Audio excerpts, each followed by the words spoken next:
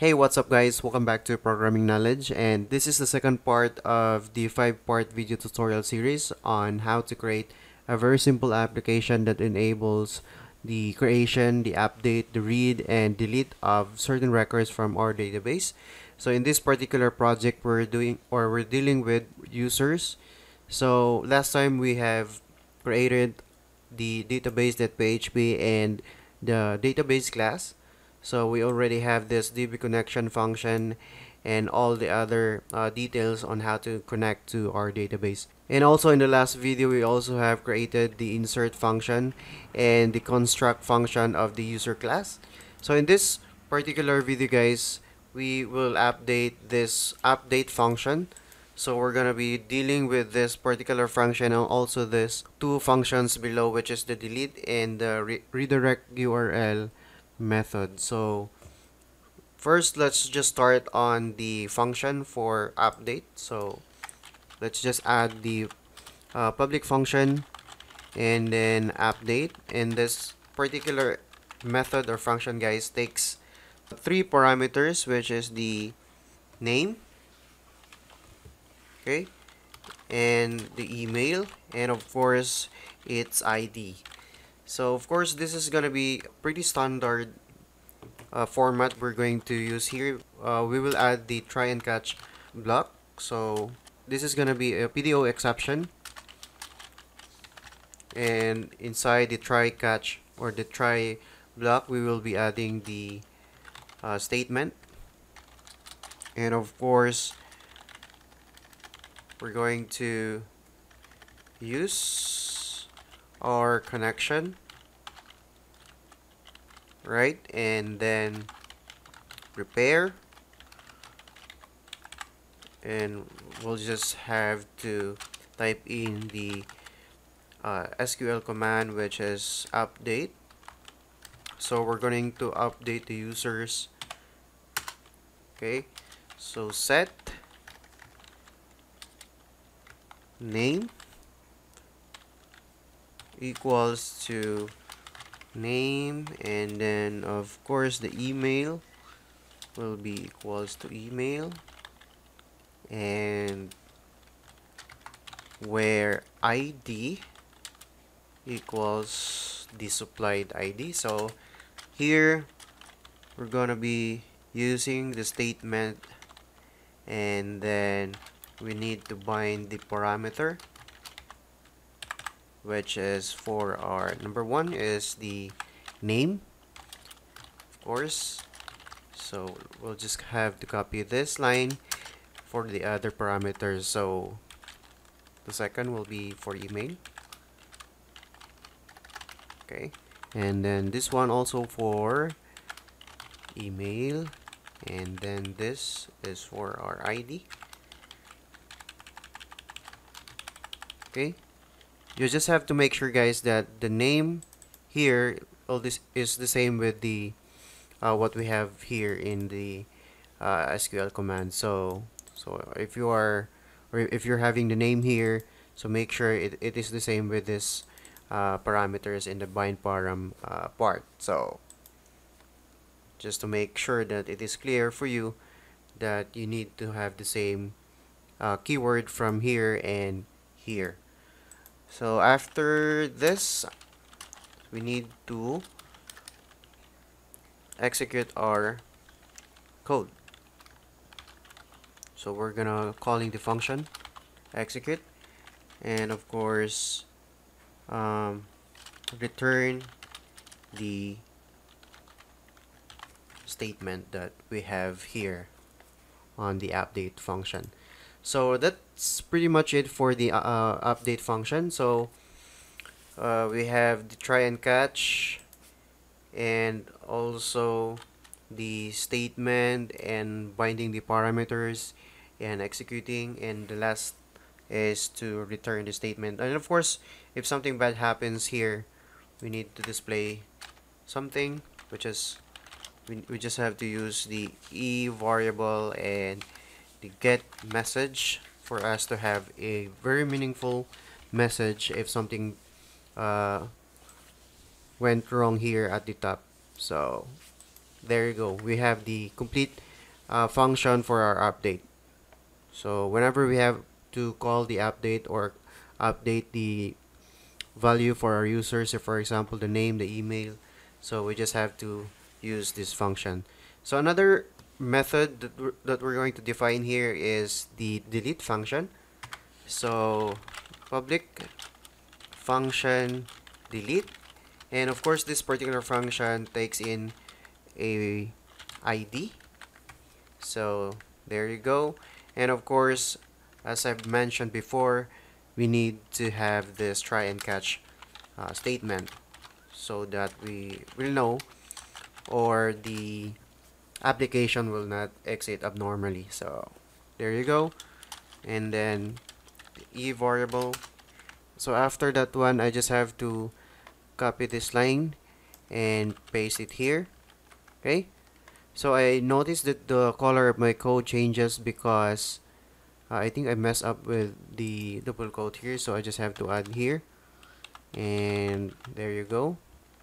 So inside here we're going to define another variable which is the statement and uh, using our connection.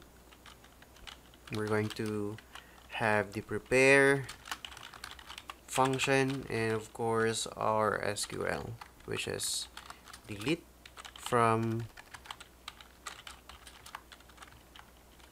uh, CRUD users which is our table name. And the ID so where ID equals our parameter ID so statement. And then we need to bind the parameter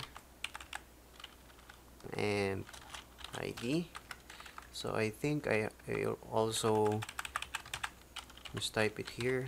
It should be small p okay?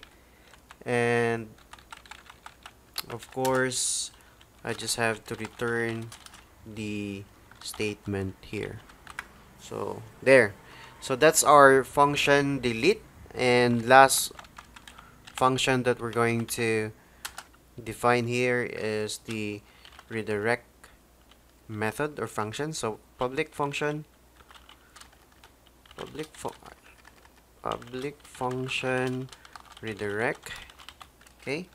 And this particular function takes in a URL and header location which is the URL there you go. So that's the uh, user class. So as a sort of review we define the constructor the uh, run query function we also have the insert the update and delete and also this last function which is redirect so the next file that we're going to modify next is the form.php.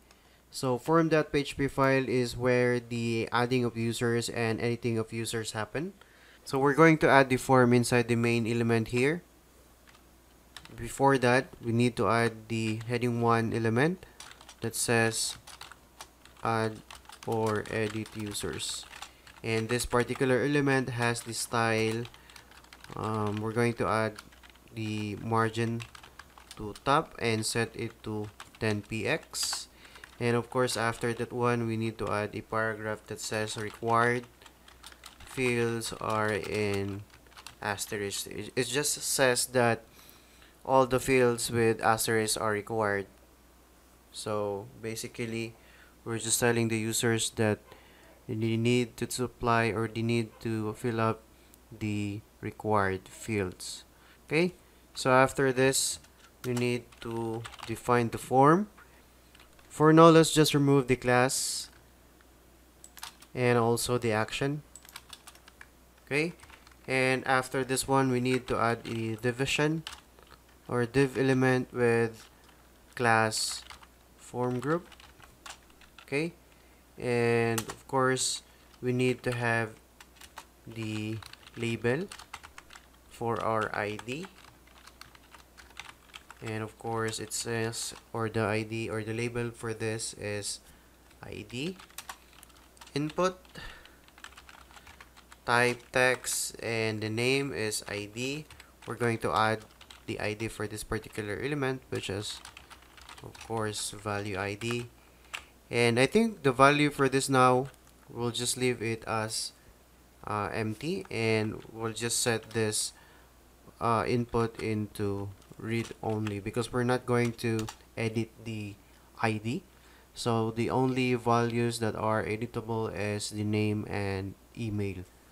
So I think we just have to copy this one for our name and one for our email. Okay? But I forgot to add a class for this. So this is going to be form control. So I'll just have to copy this class and paste it for the other inputs. And of course this particular uh, particular label is for um, name. So name. And of course the name for this particular element is name. And the ID is ID so it should not be read only.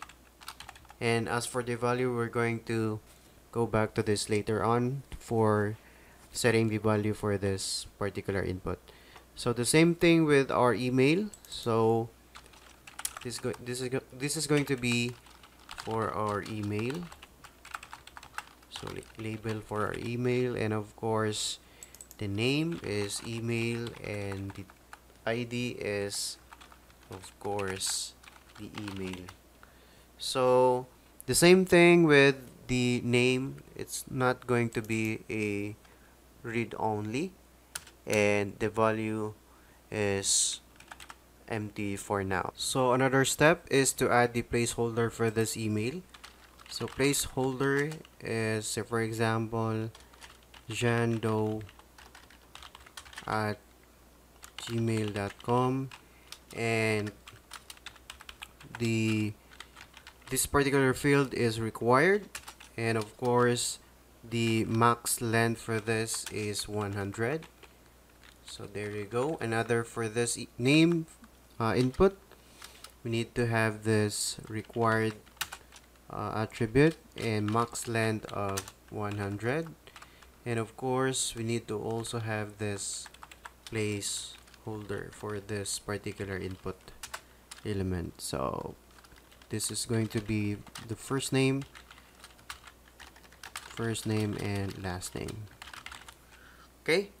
And we need to add this to have the asterisk for this fields to signify that it is that these particular fields are required. So after this we need to add the button for our form. So input type button and the name of this is btn save.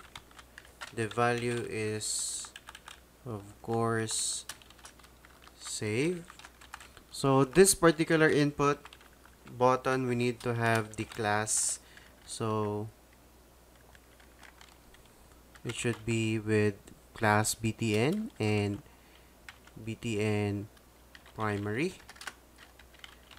And another class mar margin bottom and value is 2 so for now let's just go to our browser and try to preview our form.php file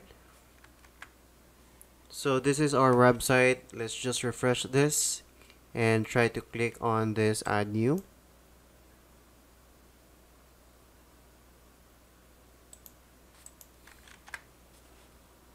So this is our website. If you try to click on this add new option so we now have the form we have the heading 1 add or edit users required fields are in the asterisk.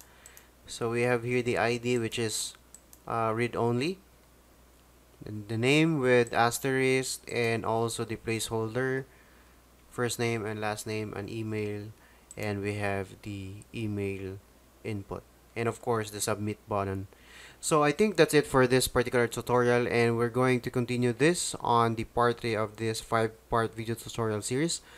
If you're new here in our channel, please subscribe and press the notification bell so you'll get updated whenever we have a new upload.